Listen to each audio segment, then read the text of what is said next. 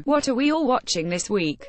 What kept you reaching for more, or agonizing when there was no more, and what made you want to throw your remote through the screen? Time to weigh in, Java Beans.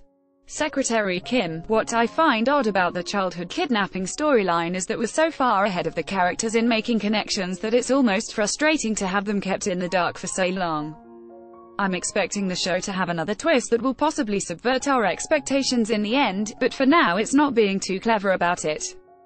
Thankfully the cute parts are still what shine, and this week I loved the bit of family bonding with the sisters, probably because for once we get to see someone treating Young-joon like a normal person and not kowtowing to him, I mean, even our heroine still does and it low-key grates on my nerves. Loved Unnie's set downs, which made her approval feel earned.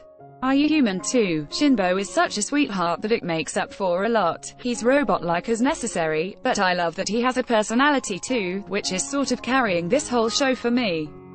I was surprised to have so many people in on the secret at this point, but I suppose it keeps things interesting whenever another person gets added to the group of secret keepers.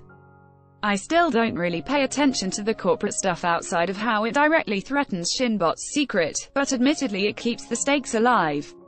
Really, though, I am here for Robot Shin's big sweet smiles and teasing humor. Mr. Sunshine, we're only one episode in so it's very early days, but here are my initial impressions, presented as thought soup. Wow, this looks amazing. You can see the money dripping off every frame. They're trying a little too hard to be the next Goblin, though. When no, this is definitely not Goblin, which was kind of magical. This show is trying to force magic and it feels a little manufactured. The kid has a sad past but do I really care? I wondered if I would care about Lee Byung-hun as a hero. Turns out I don't. Oh Asparagus is in this drama. So are tons of Descended and Goblin alumni. It's kind of distracting really. There's a lot of violence here. It's very beautiful violence though.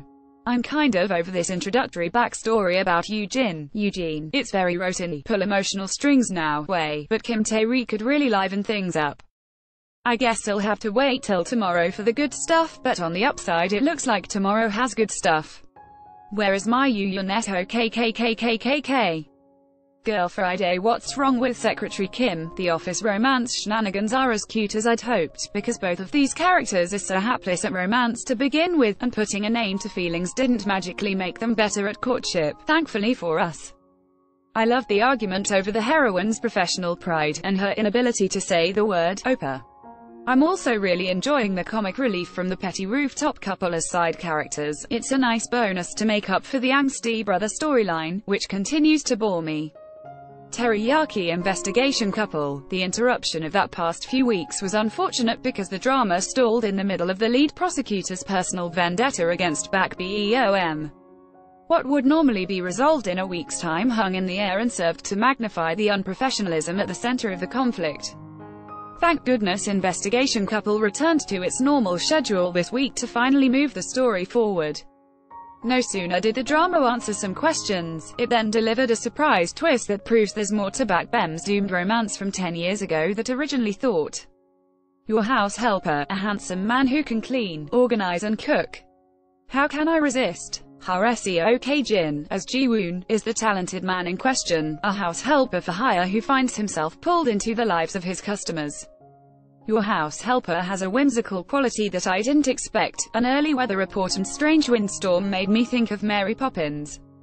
Now I expect Ji-woon to not only bring order into his customers' lives, but personal healing as well, and from the glimpses into the lives of his potential customers, they can sure use his help. Related post tags, Are You Human too? Investigation Couple, Mr. Sunshine, What We're Watching, What's Wrong with Secretary Kim, Your House Helper.